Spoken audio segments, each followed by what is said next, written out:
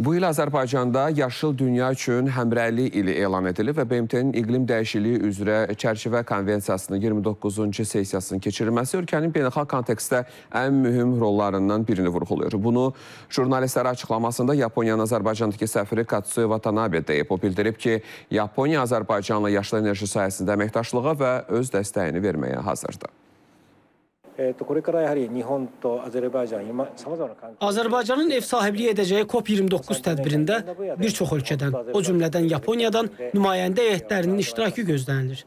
Əminik ki, Azərbaycan COP29-u uğurla və məhsuldar keçirəcək. Yaponiya öz dəstəyini verməkdən məmnun olacaq və yaşıl enerji sahəsində Azərbaycanla əməkdaşlığa hazırdır.